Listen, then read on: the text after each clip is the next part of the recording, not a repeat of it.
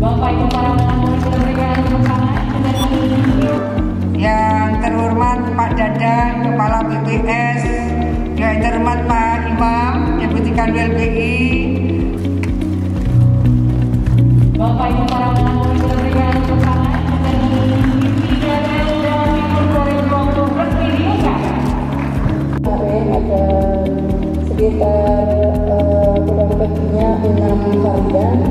yang sudah disetujui dan ini dan fungsinya untuk dihindarkan.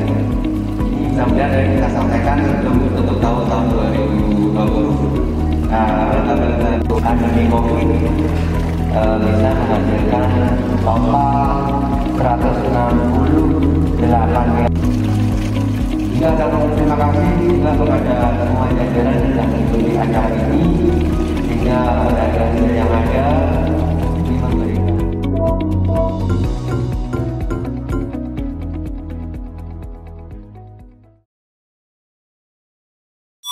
you